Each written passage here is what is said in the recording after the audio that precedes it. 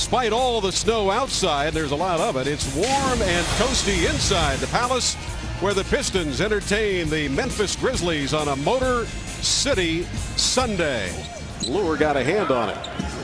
And Conley fires again for three, and he hits it. Nice. He, he, is so clever with the basketball. He makes quick moves. Sometimes he'll hesitate, but he totally keeps you off balance. Zach Randolph as the power forward.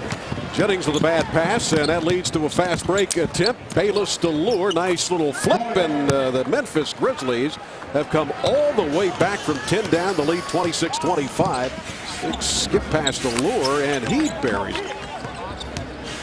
Interesting player has it up top. Seven to shoot, goes in. Leuer turns and fires and hits nice. it. That was nice. Found him a spot right at the key area for the catch, turn, and shoot.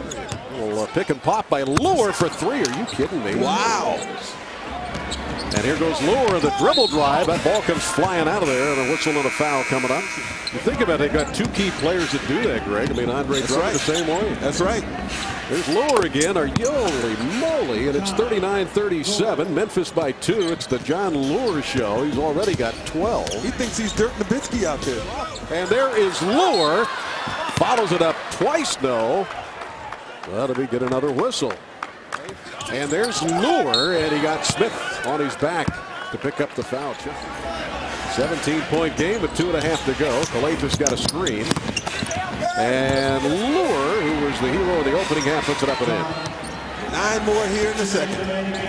Johnson on a drive and give the Leuer. Eight on the shot clock. Jerebko trying to body him up. And Leuer with a nice little baseline turnaround shot. Man, man. Yeah, he's that good, folks. Just about to go to 15 and 18, and why not? Leuer caps it off. Did it just match his career high, did he go over?